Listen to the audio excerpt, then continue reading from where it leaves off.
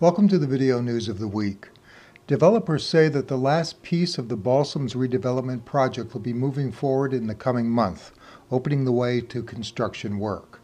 The New Hampshire Business Finance Authority currently has the Balsams financing package on its March 19th agenda and anticipate a board decision that day. The request of the BFA is to back a $28 million loan from the Service Credit Union for the Balsams project. They will examine the credit worthiness of the project and approve or deny the project, possibly approving with conditions. The developers now say that they are looking at April or May to begin construction in Dixville Notch, although the BFA decision could have an impact on the timeline. They say that they remain hopeful that they will begin construction in the spring. You can read more in the lead story in this week's Colebrook Chronicle.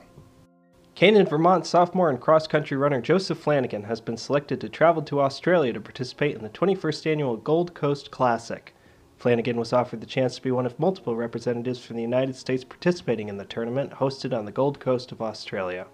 Flanagan is seen here recently speaking to the Colebrook Kiwanis Club about his upcoming trip.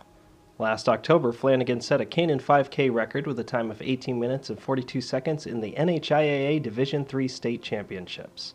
He is currently looking for donations to sponsor his 10 day trip to the summer tournament. Country music star Gord Bamford performed at Bishop's University Centennial Stage in Lennoxville, Quebec last week. The show was started by opening act Aaron Goodvin.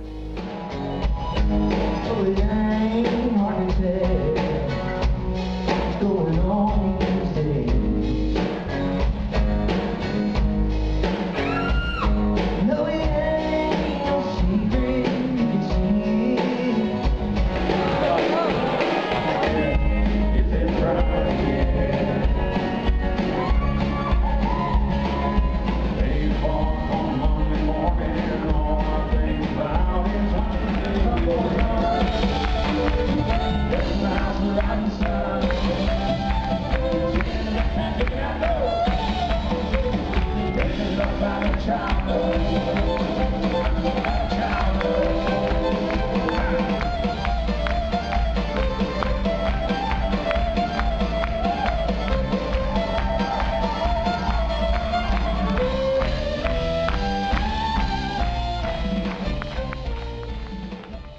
New England based group Low Lily returned to Colebrook last Friday for a show at the Colebrook Country Club. The group identifies itself as performers of American roots and branches, and this was the first concert by the group since returning from a performance at Celtic Connections in Glasgow, Scotland the week before. The Colebrook concert was sponsored by the Great North Woods Committee for the Arts.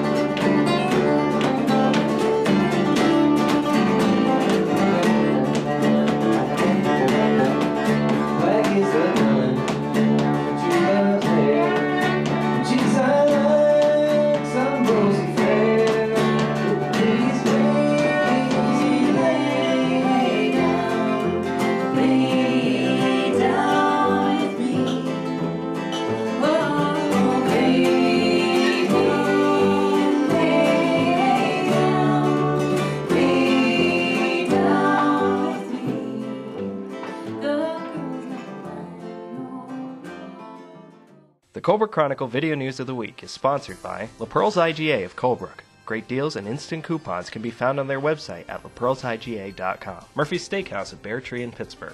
Enjoy casual fine dining, a cozy atmosphere, and wonderful food. try the chef's table on Sunday evenings.